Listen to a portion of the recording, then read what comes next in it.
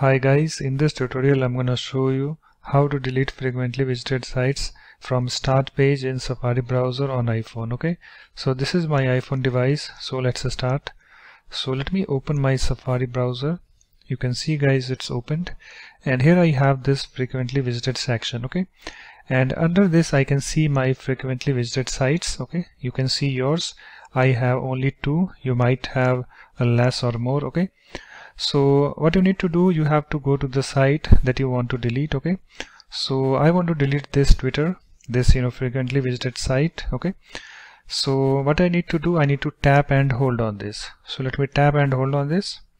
And you can see guys I have this pop-up menu. And here we have this option delete okay? So if I tap on this delete you can see it's now deleted.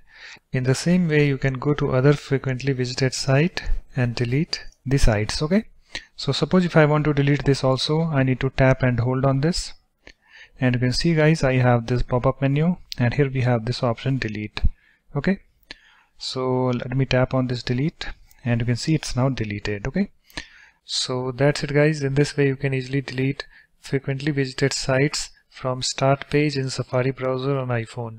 So thanks for watching. If you like my videos, please support this channel by subscribing to it. Thanks. Bye bye.